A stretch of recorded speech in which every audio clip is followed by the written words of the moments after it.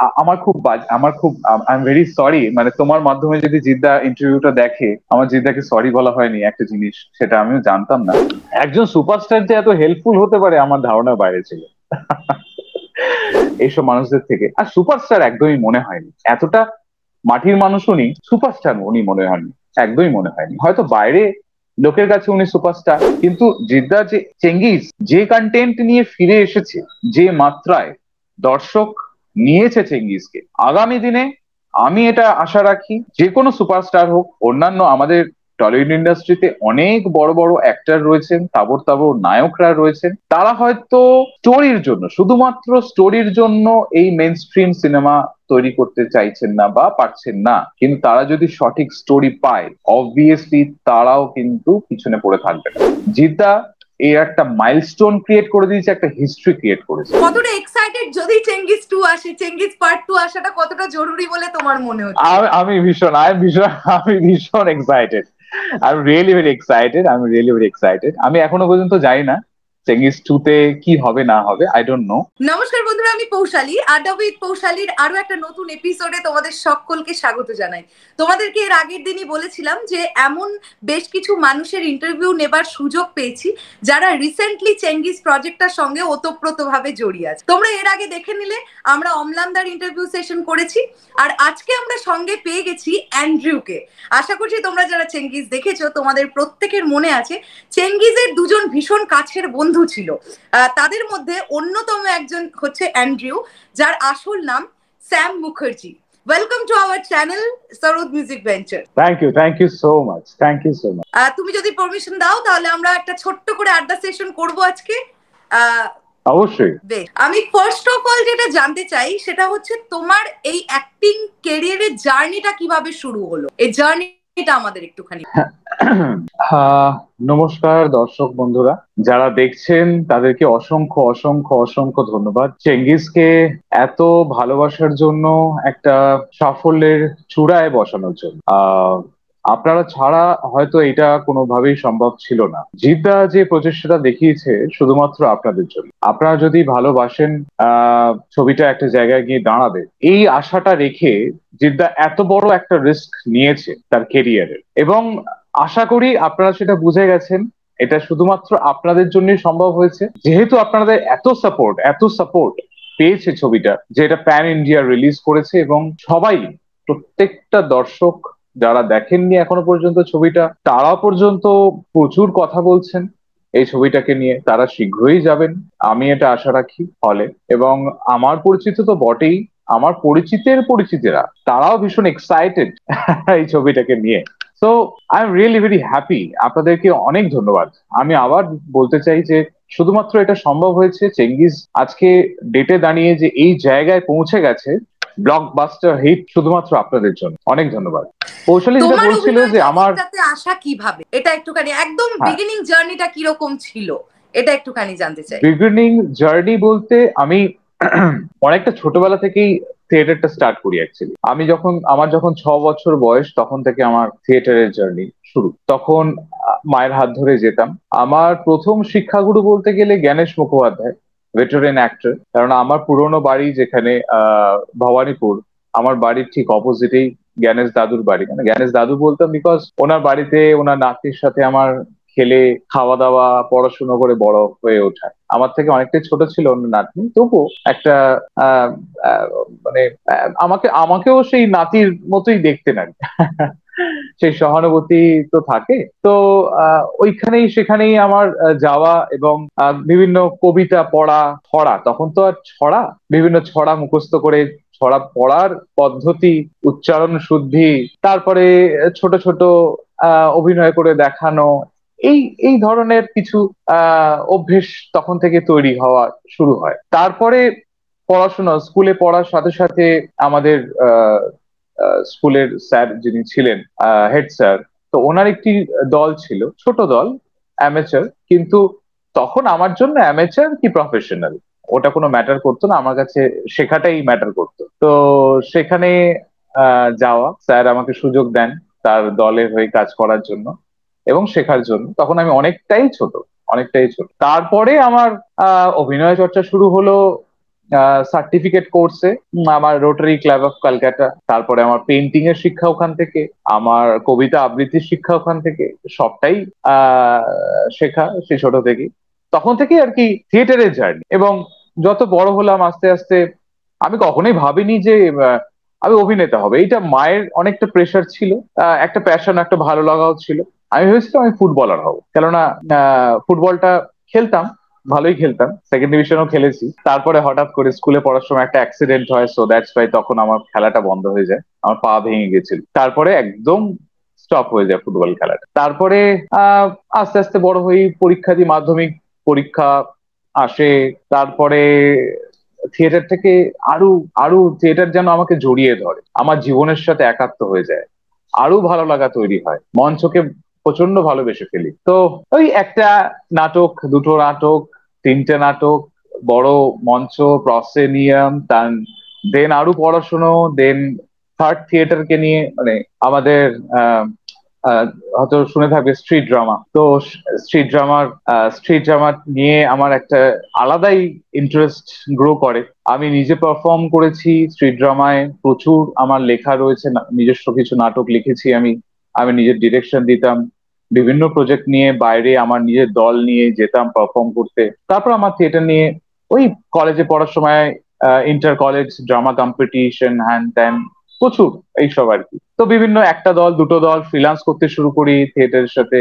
দেন আমার প্রথম মেগা বলতে পারেন যে আপনারা সোনার হরিণ, বহুদিন আগেকার একটা ওটা দিয়ে আমার ক্যামেরার প্রথম কাজ শুরু। প্রায় আড়াইশো ছেলের মেয়ে সবাই দাঁড়িয়ে আছে ইন্দ্রপুরীতে তখন অডিশন হচ্ছে ন নম্বরে। সরি ইন্দ্রপুরীর অপোজিটে ন নম্বরে অডিশন হচ্ছে। দেন প্রচুর লাইনে দাঁড়িয়ে সেখান থেকে অডিশনের সিলেকশন হওয়া, তারপরে বিভিন্ন ওয়ার্কশপ তারপরে আস্তে আস্তে সেখান থেকে জার্নি এবং ছোট ক্যারেক্টার। তখন তো একদমই নবিশ। ক্যামেরা কোনো কাজই জানি না। আমার থিয়েটারের এক্সপিরিয়েন্স শুধুমাত্র কাজে লাগছে। তো ওটা একটা শেখার জায়গা। ওটা আমি ওই, ওইখান থেকে আমার কম্পিটিশনটা শুরু। যে এতজন ছেলেকে কম্পিট করে একটা জায়গা করে নেওয়া সেই সময় দাঁড়িয়ে। এবং তখনও তো সেই এক্সপিরিয়েন্সের জায়গায় পৌঁছায়নি। তারপরে আস্তে আস্তে বড় হওয়া দেন আমার পড়াশোনাটা থিয়েটার নিয়ে হলো শেষ অব্দি দেন এনএসডি তো ট্রাই করেছিলাম। পাইনি। দুর্ভাগ্যবশত। তারপর এখানেই আমার থিয়েটার নিয়ে পড়াশোনা। তারপরে আস্তে আস্তে ট্রাই করছি বিভিন্ন সিরিয়ালসে এবং মঞ্চটা আমি কোনোদিনও ছাড়িনি। ওটা আমার ওটা আমার রক্ত, ওটা আমার রন্ধ্রে মিশে গেছে। ওটা আমার ভালো লাগার জায়গা। তাই আমি প্রচণ্ড সুখী একটি মানুষ যে থিয়েটার করে বেঁচে থাকতে পারে, নিঃশ্বাস নিতে পারে, খাবার খেতে পারে। সবটাই যেন আমি থিয়েটার থেকে সেই রসদগুলো পাই। তো এই হচ্ছে আমার জার্নি তারপরে বেশ ঘাত, প্রতিঘাত, অনেক রিজেকশন ছোট ছোট কাজ। আমার কিছু ছবিও করেছিলাম। সেগুলো হয়তো মুক্তি পায়নি বাট আইএমডিবিতে আমার প্রথম প্রথম ছবির একটি রেটিং আছে দাজেইন আমার প্রথম ছবি, যেটা জাতীয় এবং আন্তর্জাতিক স্তরে প্রায় আশির ওপরে অ্যাওয়ার্ড পেয়েছে মানে পুরস্কার পেয়েছে। আমি সেই সময় দুটি অ্যাওয়ার্ড পাই অ্যাজ আ বেস্ট অ্যাক্টর সে আন্তর্জাতিক পুরস্কার বাইরে থেকে। তো সেই ছবিগুলো হাইলাইটেড হয়নি বিকজ যেহেতু এখানে রিলিজ হয়নি, কিছু কন্ট্রোভার্সিয়াল ইস্যুস ছিল বাট আইএমডিবি রেটিং খুব ভালো। ছবিগুলো। এইট পয়েন্ট ফাইভ রেটিং আছে। ইউটিউবে ওটার ট্রেলারও পাওয়া যাবে। দাজেইন তারপরে অরুণদার অরুণ রয়ের চোলাই ওখানে আমি সংবাদ পাঠকের চরিত্র করেছিলাম ন্যারেটর হ্যাঁ যে তারপরে আমসূত্র বলে একটি মুভি যেটা মুক্তি পায় দু হাজার সতেরোতে হলে সেখানে একটা অন্য ধরনের ক্যারেক্টার আমি করেছিলাম। সবাই, অনেকে হয়তো দেখেওছে ছবিটা। তারপরে বেশ কিছুদিন গ্যাপ আমি আমার চাকরির জন্য, আমি তো চাকরিও করি। তো তারপর নিজেকে তৈরি করছিলাম। করতে করতে কোথাও দেখলাম যে আমি হয়তো মেবি তৈরি নয় বা কোথাও কোথাও কোথাও প্রবলেম মানে সবাই তো চায় যে একটু পারফেক্ট সবাই চায় পারফেকশনিস্ট হতে। এবারে সেই জায়গা থেকে দাঁড়িয়ে আমি ভাবছিলাম যে হ্যাঁ মেবি কোথাও এটা প্রবলেম হচ্ছে হয়তো। আমি আমার হান্ড্রেড পার্সেন্টটা কেন দিতে পারছি না? আমার কোথাও প্রবলেম আমি নেকলে কোথাও একটা অসম্পূর্ণ ফিল করছি আমার ভেতরে। বাস দ্যাটস অল ওখান থেকে জানি আমি গ্যাপ দিলাম, আমি রেস্ট দিলাম, নিজেকে তৈরি করার প্রসেসে থাকলাম। বহু বছর পর তারপরে আমি থিয়েটারটা চলছিল, তারপরে হঠাৎ করেই এই চরিত্রটা করার সুযোগটা আসে এবং রাজেশ স্যারের পছন্দ হয় আমার অডিশন বেশ বেশ বহুদিন আমি অপেক্ষা করেছিলাম ফাইনাল একটা রিপ্লাই পাওয়ার জন্য এবং অবশেষে আমার কাছে ফোনটা আসে যে you are selected for this character তুমি অ্যান্ড্রুটা করছ। আমার তো আনন্দের সীমা নেই, আমি তো জাস্ট ব্লাস কেননা অ্যান্ড্রু আমার কাছে সত্যি খুব একটা পছন্দের চরিত্র খুব প্যাশনেট ছিলাম চরিত্রটাকে নিয়ে আমি। এবং প্রত্যেকটা আমি ওই ক্রাফটের উপরে কাজ করেছি। অ্যান্ড্রুর একটা তো বিশেষত্ব রয়েছে, ওই চরিত্রটার মধ্যে একটা বিশেষ বিশেষত্ব রয়েছে। একটু ডিফারেন্ট ওই থট প্রসেসটার উপরে আমি ওই ওই একটা বছর আমি ওই থট প্রসেসের মধ্যে ছিলাম, ওই ক্যারেক্টারটার মধ্যে ছিলাম। সবাই বলতো যে আমি চুপচাপ থাকতাম মানে কোনো বেশি কথা নয়। আমার চুল, আমার দাড়ি সবটাই একটা তখন মেনটেন ছিল অ্যান্ড্রু অ্যান্ড্রুর জন্য। তখন আমি রেখেছিলাম। Those are the original all আমার চুল, দাড়ি সবটাই অরিজিনাল কোনটাই উইগ ইউজ হয়নি। তো খুব ভালো একটা এক্সপিরিয়েন্স এবং রাজেশ দা আমাকে প্রচণ্ড গাইড করেছে ক্যারেক্টারটা হওয়ার জন্য। তৈরি মানে ক্যারেক্টারটা নিজের ভেতরে অ্যাডপ্ট করার জন্য আমি প্রত্যেকটা সময় ডিসকাস করতাম রাজদার সাথে যে কি করা যেতে পারে। আমি এইভাবে ভাবছি। আপনি কি আমার সাথে সহমত? এই ক্যারেক্টারটা আমি এইভাবে ভাবছি। টার্নিংসগুলো, ছোট ছোট পজিশনসগুলো, আমার এক্সপ্রেশনসগুলো, আমার বডি ল্যাঙ্গুয়েজ নিয়ে আমি রাজদার সাথে আলোচনা করতাম। রাজদা বলতো হ্যাঁ ওকে ভেরি গুড নাইস চলো ক্যারি অন অনেকটা সাপোর্ট করে গেছে। এবং একটা জিনিস আমি অবশ্যই বলব, দুটো মানুষ ছাড়া এটা অসম্পূর্ণ হতো বা সম্ভব ছিল না অ্যান্ড্রু সেটা হচ্ছে সৌরাগ্নিক ইয়াস দাস, যার ভালো নাম হচ্ছে তাপস তাপস দাস। ও এডি এখন ডিরেক্টর হয়েছে, এখন বেশ অনেক ভালো, খুব ট্যালেন্টেড ছেলে। ও আমাদের সাথে চেঙ্গিজ টিমের সাথে যুক্ত ছিল। বিশেষ কিছু কারণে ও মাঝখান থেকে বেরিয়ে যায় ওর পার্সোনাল কিছু প্রবলেমের জন্য। কিন্তু ওই ছেলেটির নাম আমি নেব অবশ্যই, কারণ আমার ছোট ভাইয়ের মতো। এবং ও আমাকে অনেকটা সাপোর্ট করেছে এবং ওর জন্যই বোধহয় আমি চেঙ্গিজের প্রজেক্টটা হয়তো পেয়েছি। তারপরে নাম নেব আমি তন্ময়দা। তন্ময়দা আমাদের অ্যাসোসিয়েট ডিরেক্টর ছিলেন আমাদের চেঙ্গিজের তারপর অনেকেই আছে পাপুদা আছে, সমর্পিতা আছে মানে দোজ আর মানে এদের ছাড়া হতো না চেঙ্গিজটা প্রচণ্ড খেটেছে এরা প্রচণ্ড খেটেছে। মানে প্রত্যেকটা মোমেন্টে মাথার ঘাম পায়ে ফেলে খেটেছে। এরা প্রত্যেকটা টেকনিশিয়ান অসম্ভব ভালো, অসম্ভব। এতটা কোঅর্ডিনেট করেছে আমার সাথে। এরা প্রত্যেকটা আর্টিস্ট এখানে প্রত্যেকটা আর্টিস্ট ট্যালেন্টেড আর্টিস্ট আপনারা দেখেই হয়তো বুঝেছেন যে কাউকেই মানে অ্যাভয়েড করা যাবে না। মানে সবাই একের থেকে বেশি কাজ করে যাচ্ছে। কাকে ছেড়ে কাকে দেখবেন? সবাই ট্যালেন্টেড আর্টিস্ট এক্স্যাক্টলি এবং আমি যেটা বলতে চাই যে চেঙ্গিজের প্রত্যেকটা চরিত্র নিজেদের একটা করে আলাদা ছাপ ফেলে রাখার জায়গা পেয়ে। মানে আমি যখন প্রথম দিন তোমার সঙ্গে ফোনে কথা বলছি আমি তোমাকে পার্টিকুলারলি দু তিনটে জায়গা বলেছিলাম। বিশেষ করে রাগারা গানটা শুরু হওয়ার আগে তুমি যে ব্যাপারটা করেছিলে সেটা পুরো ছবি জুড়ে তোমাকে আরও বেশ অনেকগুলো দৃশ্যে তোমাকে মনে রাখবার মতন। কিন্তু ইয়াং জেনারেশনরা তোমাকে মনে রাখবে ওই জায়গাটা কারণ তোমাকে দিয়ে গানটা শুরু। অন্যভাবে। তো এই চেঙ্গিজের রাইটিংটাই এত ভালো হয়েছিল যে আমার মনে হয় প্রত্যেকটা চরিত্র তাদের জায়গা পেয়েছিল যাতে তাদেরকে দর্শকের মনে গাঁথিয়ে দিতে পারে। মানে প্রত্যেকের ক্ষেত্রেই বলছি আমি, তোমারও যে আরেকজন বন্ধুর ক্যারেক্টারটা প্লে করেছিল, তারও এরকম বেশ কিছু জায়গা ছিল বা প্রত্যেকজন ক্যারেক্টারের আমার খুব ভালো লেগেছে স্পেশালি এটা। দেখো, চেঙ্গিজের সঙ্গে যুক্ত হওয়া কীভাবে তুমি আমাকে বলেই দিলে, আমি তাই আর ওইদিকে যাচ্ছি আমি তোমাকে যা জিজ্ঞাসা করব যে, আমার তোমার সঙ্গে কথা বলে যেটা মনে হচ্ছে, এই যে অ্যান্ড্রিউ চরিত্রটা তুমি প্লে করেছ, এটার থেকে সাম একদম আলাদা। মানে দুটো মানুষের মধ্যে কোনো মিলই নেই। তো এই চরিত্রটা নিজের মধ্যে চরিত্রায়ন করলে কেমন করে? এই প্রিপারেশনটা কীরকম ছিল তোমার? দেখো, একজন অভিনেতার কাজটাই হচ্ছে এটা অবজারভেশন আর একটা ক্যারেক্টারকে কীভাবে অ্যানালাইসিস করা যাবে অ্যানালাইজ করা যাবে, এইটাকে নিয়ে সারাক্ষণ ধরে কাজ করা, এটাই হচ্ছে একজন অভিনেতার কাজ। তো আমি সবসময় চেষ্টা করে গেছি যে আমি দর্শককে কীভাবে পাঞ্চ দিতে পারব, একটা ক্যারেক্টারকে গঠন যেটা করতে হয়, বুনন, এই বুননটা খুব জরুরি। কেননা একটা ক্যারেক্টার আমি অন্যভাবে কথা বলে গেলাম, আমি অন্যভাবে ডায়লগ বলে গেলাম, সেটা তো নয়। কেননা একটা চরিত্র করতে গেলে তার অনেক কিছু মাথায় রাখতে হয়। এই যে চোখের চোখের যে, এই যে পলকটা, এই যে পাতাটা ফেলছি, এইটা ওই ক্যারেক্টারের মতো হওয়া উচিত। তবেই গিয়ে একটা ক্যারেক্টার কিন্তু তার ওই ওই ক্যারেক্টারের সার্থকতা তো আমি আমি যেটা ফলো করতাম যে আমি তো নই চরিত্রটা, কিন্তু ওই অ্যান্ড্রু কি করে? তো অ্যান্ড্রু কি করে এটা জানতে গিয়ে আমি তার ব্যাকগ্রাউন্ডটা জানলাম আমাদের রাজেশ দার কাছ থেকে। তার বড় হয়ে ওঠাটা, তার তার ফ্যামিলি সে কোথা থেকে, তার ব্যাকগ্রাউন্ডটা কি, সে কোথা থেকে বড় হয়েছে। তো রাজেশ একটা অ্যাব্রাপ্ট আমাকে বুঝিয়ে দিল যে এই এই হচ্ছে অ্যান্ড্রুর চরিত্র, যেটা দেখানো হয়নি ছবিতে বাট তারা একটা তো কল্পনা করে ক্যারেক্টার লিখেছে। তো আমার সব থেকে প্রাথমিক কাজটা ছিল যে তাদের মোটিভেশনটা কি? এই চরিত্রটাকে সৃষ্টি করার। কেননা এই চরিত্রটা কিন্তু বাস্তব একটা ছিল, অ্যান্ড্রু বলে একজন ছিল। তো নীরজজি আর রাজেশ দা, রাজেশ স্যার স্টোরিটাকে ডেভেলপ করেছে দুজনে মিলে। তারা নিশ্চয়ই আমার থেকে অনেক বেশি জানেন এই ব্যাকগ্রাউন্ড সম্পর্কে, এই চরিত্রগুলো সম্পর্কে। ফার্স্ট আমি একটা ন্যারেশন নিলাম। দেন আমি এটাকে নিয়ে আমি চর্চা করতে শুরু করলাম। অ্যান্ড্রু হাঁটা, অ্যান্ড্রু মুভমেন্ট কেননা অনেক সময় দেখা গেছে অ্যান্ড্রু কিন্তু অ্যাকশন মুভমেন্টে আছে। তো আমার স্ক্রিপ্ট অনুযায়ী কিন্তু অ্যান্ড্রুর অ্যাকশনটা দরকার। তো সেখানে আমার প্রাথমিক কাজটা হচ্ছে তার মুভমেন্ট মানে মানে চলনটা, তার চলন, তারপর বডি মুভমেন্ট বডি ল্যাঙ্গুয়েজ যেটা অ্যান্ড্রু মানে একজন অ্যান্টি সোশ্যাল সেই সময় দাঁড়িয়ে মানে এইটিজ আর সেভেন্টিজ এর সময় দাঁড়িয়ে একজন অ্যান্টি সোশ্যাল যে ত্রাস, একটা কলকাতার ত্রাস হয়ে উঠেছে এই তিনজনের গ্রুপ তাহলে সেইটার মধ্যে এবং তার সাথে সাথে প্রচণ্ড মানে হয় না মানে একটু কেওড়া গোছের যেরকম, খুব বাংলা ভাষায় বলতে গেলে। কেননা আজকে ধরুন যেসব ডনদের দেখা যায়, তারা ভীষণ না মানে সফিস্টিকেটেড ডন আমরা অনেককেই দেখি, দাদা, তারা একটু সফিস্টিকেটেড সফিস্টিকেটেড কিন্তু সেই সময় দাঁড়িয়ে যেখানে ওই সেভেন্টিজ এর সময় একটু ঢোলা প্যান্ট, ঢোলা জামা।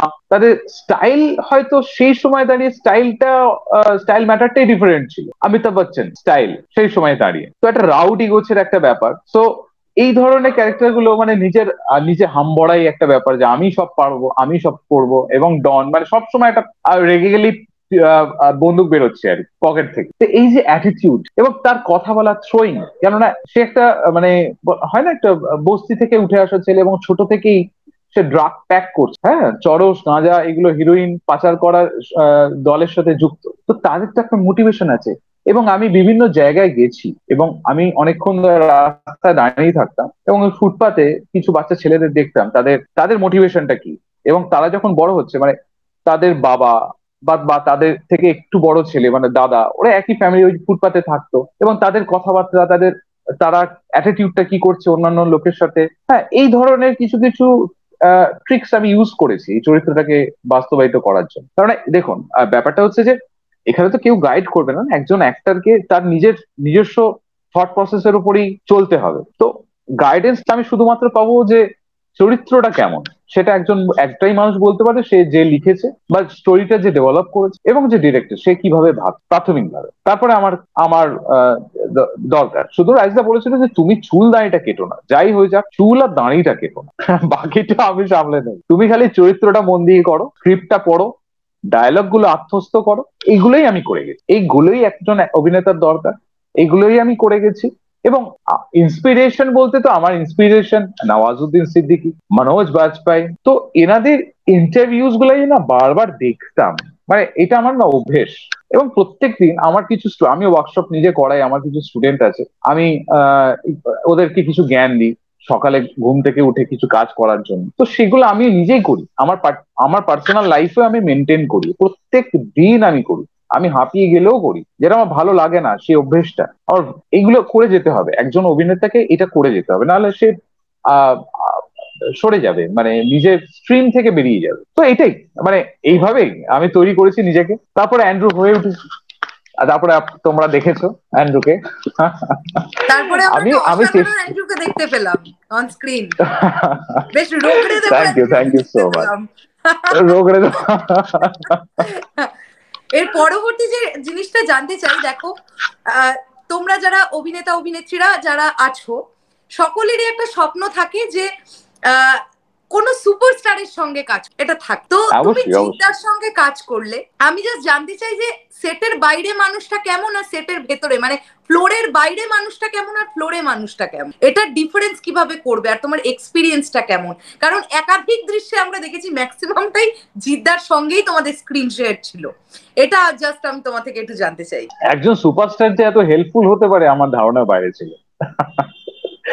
মানে সুপারস্টার বলে আমি মানে জানতে চাই বিষয়টা বলো। হেল্পফুল মানে কি? হেল্পফুল মানে উনি এতটা ক্যাজুয়াল যখন শুটিং এ ঢুকছে বা আমার সাথে সিন আছে আমাদের আমাদের সাথে সিন আছে তখন মানে একদম মাটির মানুষ। একদম কোর লেভেলে গিয়ে সেই ডায়লগগুলো বা সিনটাকে ডিসকাস করা, আমাদের মুভমেন্ট গুলোকে নিয়ে ডিসকাস করা এবং এটা অনেক ক্ষেত্রেই হতো যে জিদ্দা ঢোকার আগে জিদ্দা আমাদের ফ্লোরে ঢোকার আগে আমাদের কিছু কিছু রিহার্সাল হয়ে যায়। জিদ্দা ঢুকে জাস্ট দেখছে রিহার্সালটা এবং সে করছে আমাদের যারা ধরুন ডিরেক্টর কেউ অ্যাসোসিয়েট ডিরেক্টর বা ফার্স্ট এডি সেকেন্ড এডি যারা ছিলেন, তারা জিদ্দার ডায়লগটা করছেন এবং আমরা রিহার্সালটা করছি।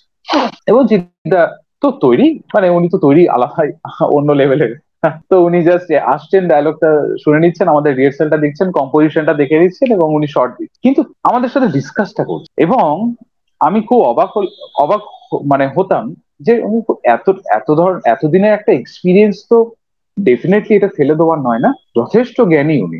আমাদের থেকে অনেক বেশি সিনেমা উনি করেছেন, প্রচুর মানুষের সাথে ওঠা বসা করেছেন, অনেক অনেক শ্রদ্ধেয় অ্যাক্টার্সদের সাথে উনি কাজ করেছেন। তো উনিও তো শিখে বড় হয়েছেন না? উনিও কিন্তু স্ট্রাগল করে একদম মাটির থেকে স্ট্রাগল করে উঠেছেন। ওনার রাস্তাটাও খুব একটা ইজি ছিল না। তো যথেষ্ট ভালো অভিনেতা উনি। আমার মনে হয়, আমার, আমি পার্সোনালি বলতে পারি যথেষ্ট ভালো অভিনেতা এবং ওনার থেকে শেখার এবং ওনার যে এনার্জি মানে আমরা পর্যন্ত আমরা সকাল থেকে হয়তো শুট করে ক্লান্ত হয়ে পড়ছি সন্ধ্যাবেলা গিয়ে, কিন্তু আমি মানুষটাকে দেখছি যে উনি সকালে যেরকম যে এনার্জি নিয়েছিলেন প্যাক আপ হওয়ার সময় সেই এনার্জি মনে হচ্ছে সেই সময় কন্টিনিউ করা যায় হয়তো শুটটা হাঁপিয়ে যান না কখনো। আমি তো সেটা দেখলাম না কখনো যে হাঁপিয়ে গেলে আমি হাঁপিয়ে যাচ্ছি, কিন্তু উনি হাঁপাচ্ছেন না।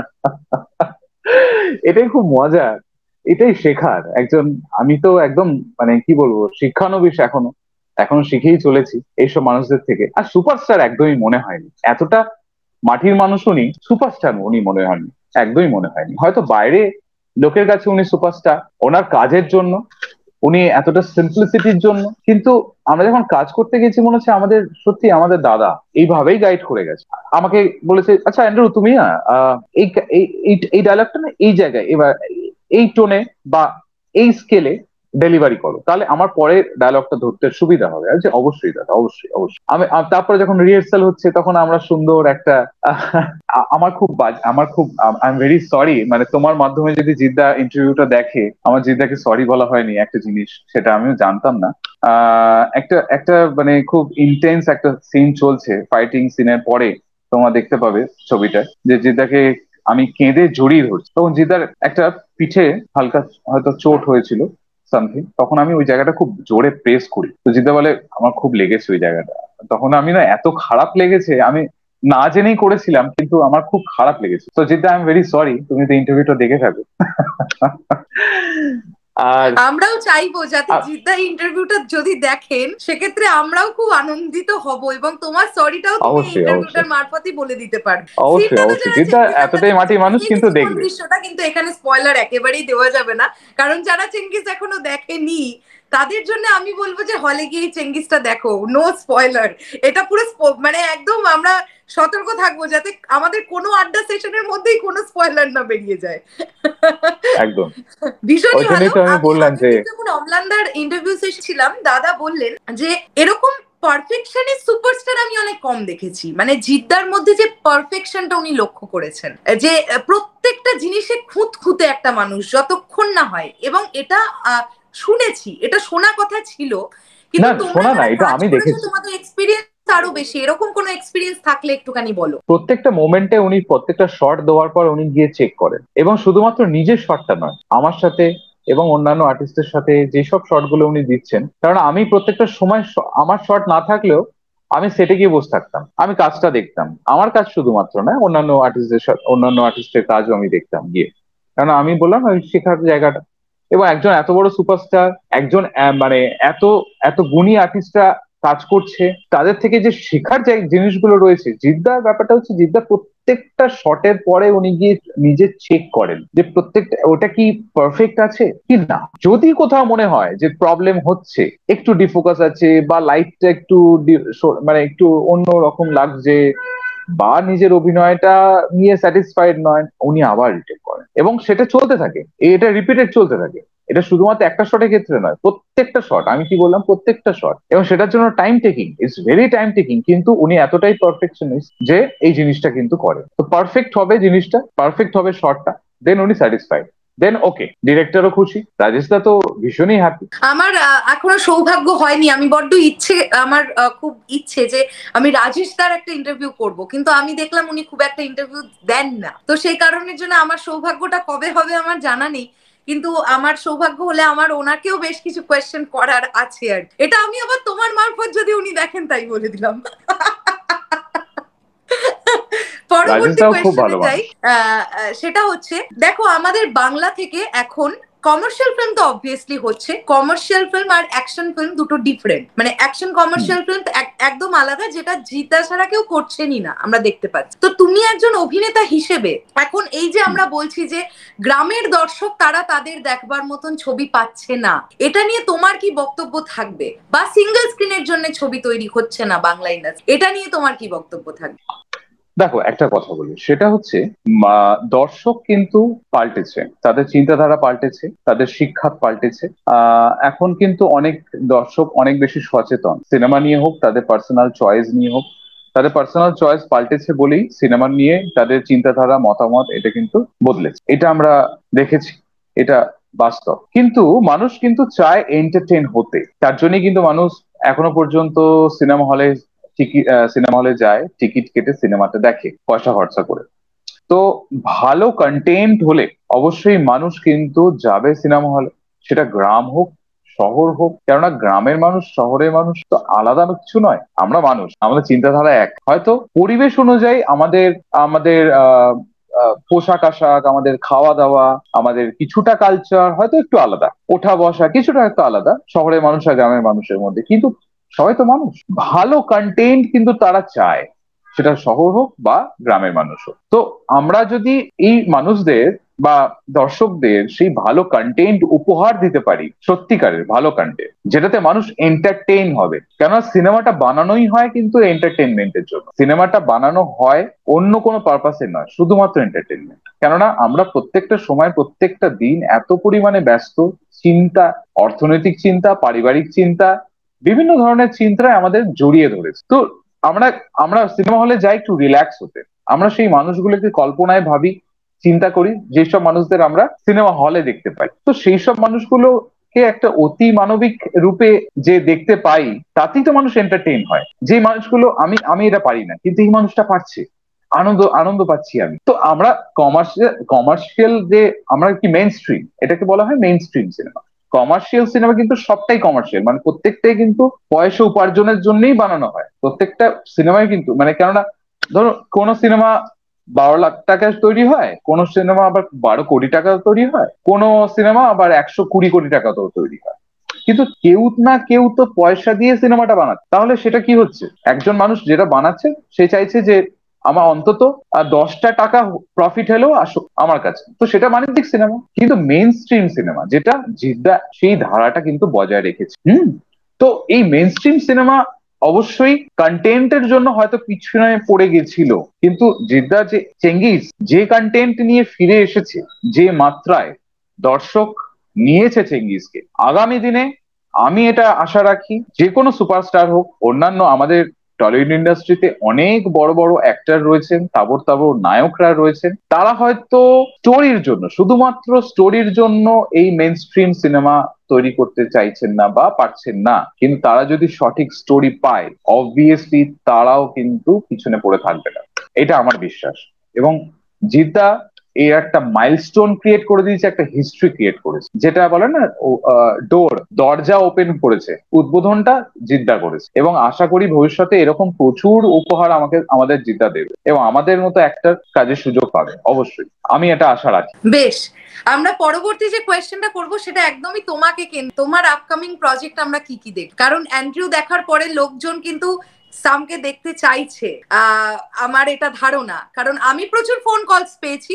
যারা পার্টিকুলারলি তোমার দু একটা দৃশ্যের কথা ফোন করে আমায় জানিয়েছে যে ভীষণ ভালো ভীষণ ভালো। তো তোমার আপকামিং প্রজেক্ট অনেক অনেক অনেক অনেক অনেক ধন্যবাদ। এটা এটা আমার কাছে অনেক বড় প্রাপ্তি। আমি যে এটা এটা এটা আমি সত্যিকার ধন্যবাদ দিতে চাই চেঙ্গিস টিমকে প্রত্যেকটা মানুষকে। যেভাবে তারা সাপোর্ট করে গেছে আমি অ্যান্ড্রু হয়ে উঠে। এবং জিদ্দা, রাজেশ দাকে তো অনেক ধন্যবাদ। কেননা ওনারা যেভাবে আমাকে সাপোর্ট করে গেছেন অ্যান্ড্রু হওয়ার জন্য, আমি ভুলতে পারব না। কেননা একজন স্ট্রাগলার এত বছর ধরে স্ট্রাগল করেই যাচ্ছে, তার কিছুটা হলেও একটু সাকসেসের মুখ দেখা, সেটা তো অনেক বড় পাওয়া হবে, তাই না? কারণ আমার জীবনে এইটা এই অভিনয়ের জন্য অনেক কিছু স্যাক্রিফাইস রয়েছে, সেটা আমরা আলোচনা করব অবশ্যই পরবর্তীকালে। কিন্তু রয়েছে, প্রচুর কষ্ট, প্রচুর ওঠা পড়া, মান অপমান আমাকে সহ্য করতে হয়েছে। প্রচুর বাধা এসছে আমার জীবনে। তো সেখান থেকে দাঁড়িয়ে সবকিছু সহ্য করে আমি মাথা উঁচু করে দাঁড়িয়ে আছি। প্রত্যেক, যারা যারা আমার মতো স্ট্রাগলার ইন্ডাস্ট্রি স্ট্রাগলার তাদেরকে একটা কথাই বলব,